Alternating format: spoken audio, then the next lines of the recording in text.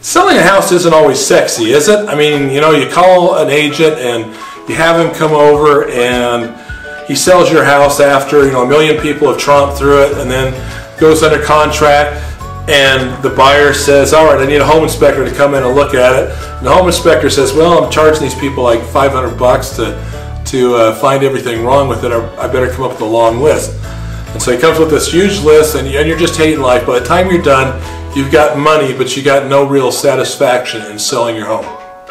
So let me make it sexy for you. Give us a call. You can bypass the agents. We'll pay all your closing costs. You can not have to worry about a home inspection because I'll do that within the first 30 minutes of being in your house. And here's how it gets sexy.